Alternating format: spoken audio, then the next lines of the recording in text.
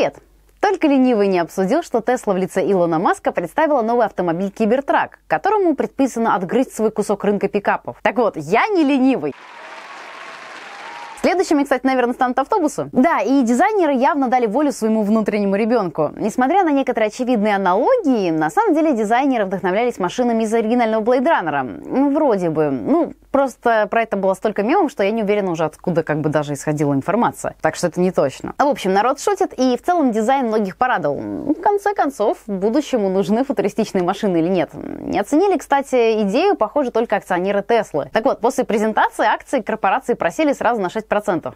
Скучные люди. Ну а вообще, с точки зрения конструкции, Кибертраку обещают изрядную бронированность, ведь он собран из нержавеющей стали, которая как бы даже не проминается под ударом кувалды. Вот здесь видно, как вот они вот вот делает стук, а она такая берет и, и выдерживает. А окна выдерживают падение стального шарика.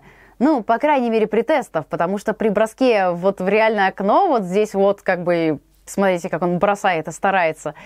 в общем, вышла неувязочка. А в остальном все как обычно у Теслы. Разгон до сотни миль на одной зарядке, в багажник помещается квадроцикл, ну, все отлично, ведь только люди и гадают, как транспортировать свой квадроцикл, правда? В общем, в машине все классно, ну, кроме одного углы. Вот, честно говоря, они выглядят очень небезопасно. То есть я прям представляю, как идет человек, подскальзывается на банановой кожуре, как в мультике, и, в общем, бочком так. А, В общем, неудивительно, что на машину, чей выход в серию намечен на 2021 год, уже сделано 140 тысяч предзаказов. Правда, насчет этих 140 тысяч предзаказов заказать можно без предоплаты, но как бы с другой стороны и рекламы рекламы, кроме презентации, никакой не было. Так что информация какая есть, такая есть. А меня зовут Елена Росохина, и я хочу поделиться своими мыслями по поводу некоторых странных и не очень событий этих дней.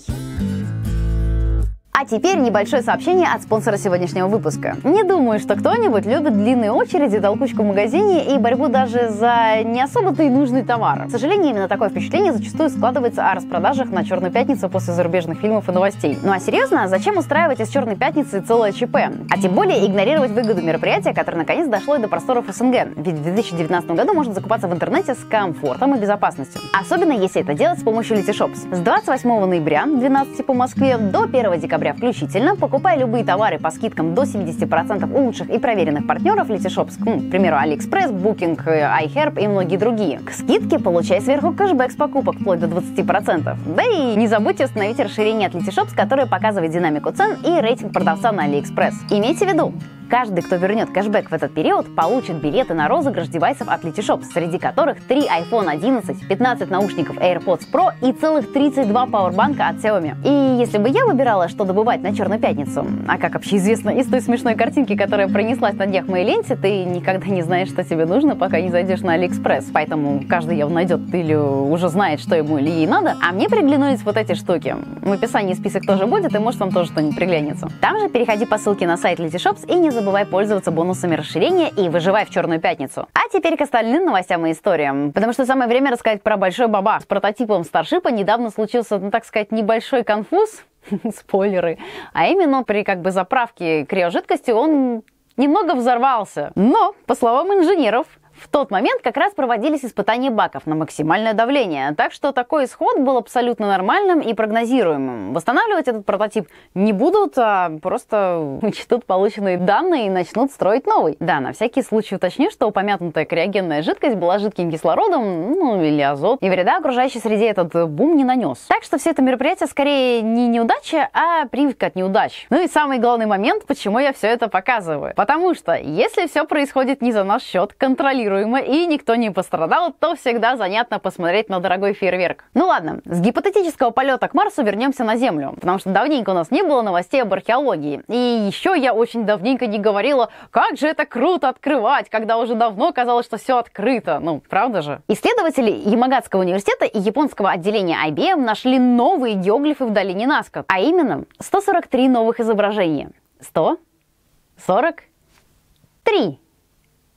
Это очень много. Учитывая, что раньше ученые знали примерно о сотне законченных рисунков разной сохранности, ну, конечно, не считая нескольких тысяч линий и простых фигур, то это ничего себе такой boost, а? Что характерно, открытие совершили не столько в полевой экспедиции, сколько анализируя снимки и трехмерные сканы местности с помощью ИИ, разработанного IBM. Так что новые геоглифы не только дали новую информацию историкам, но и неплохо так продвинули вперед искусственный интеллект. И что самое классное в этой новости, линии Наска казались чем-то вот, что полностью изучено. То есть они зарисованы там, с площадочки туристических все вот видно, да вот наблюдать можно. А нет, все равно открыли что-то новое. И да, еще раз, это дает надежду на то, что неразведанного еще океана маленькая лужа, и не обязательно за ним даже в космос лететь.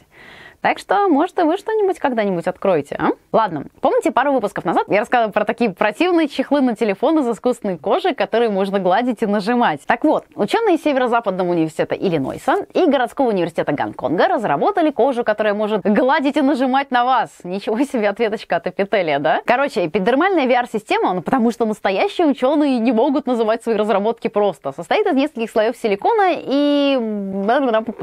Состоит из нескольких слоев силикона, полимера полимеров и тканей с крохотными моторчиками внутри всего этого бутерброда. В экспериментальном прототипе их 32 в квадрате на... В экспериментальном прототипе их 32 в квадрате 15 на 15 сантиметров, но в будущем никто не мешает их сделать меньше и, соответственно, запихнуть больше на ту же площадь. Моторчики с беспроводным питанием и таким же беспроводным управлением. И при подаче сигнала начинают вибрировать, вызывая на коже, который привлекает ощущение касания. Есть мнение, что что-то подобное вроде как применяется в некоторых взрослых игрушках, но дело в том, что новая кожа имеет куда больше сферы применения. Например, из нее можно сделать полноценный комбинезон с обратной связью для виртуальной реальности, ну или придать чувствительность протезам. В общем, здоровская штука и ждем новых прототипов. Вроде бы, кстати, технология безопасна, передает только касание, так что костюм не сможет вас задушить, даже если вы запутаете в проводах, потому что проводов нету. Ну и боль он вряд ли сможет причинить. Ну то есть вмазать вам как следует за шутки на форумах, наверное, никто не сможет. Ну и это немного успокаивает, хотя это не повод вести себя плохо. Пока вы вот думаете о том, как вести вести себя на форумах, можно посмотреть на географическую карту Титана.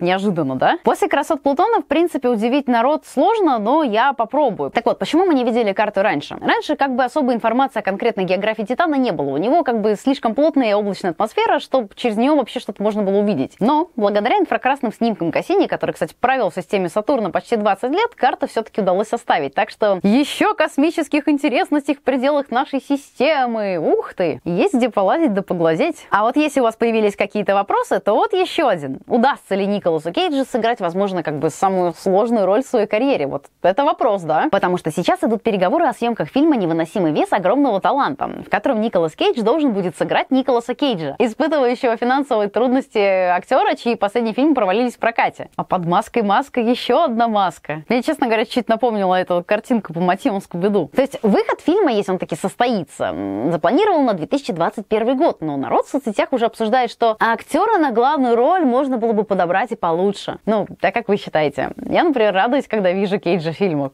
Ну, типа, просто радуйся. Ты его видишь и сразу понимаешь, сейчас будет весело. Кстати, давненько, знаете, чего не было? Глупых воришек. Так вот, Наиболее глупый воришка, или точнее залезатель в дома, это тот, который решил вломиться в дом к миниатюрной Вилли Мерфи, 82-летней старушке, бывшей профессиональной чемпионкой по тяжелой атлетике. Так вот сама история. Сперва некто начал ломиться к даме, говоря о том, что нужно вызвать скорую, а бабуля, как бы, ну, видимо, подозрительно. Она не открыла и вызвала полицию. Что там на самом деле было непонятно, но дело в том, что вылезатель затем влез в дом, и тут бабуля точно не растерялась и встретила неприятеля достаточно жестко. Пробила столом неприятелю голову, изрядно избила метлой и, в общем, короче, и вылила в лицо шампунь. Преступник без сознания в больнице, а бабуля подняла себе известности. Ну а дальше они, наверное, все сами разберутся разберутся. А я говорю спасибо всем подписчикам Не Новости Плюс и отдельное спасибо мистеру Хомяку. И не забывайте о распродаже Черной Пятницы, которая стартует 28 ноября. Ссылки в описании. Кстати, хорошей вам всем, ребята и девчата, недели и приятных выходных. Подписывайтесь на нас везде-везде. И да, с вами была Елена Рассохина. Пока.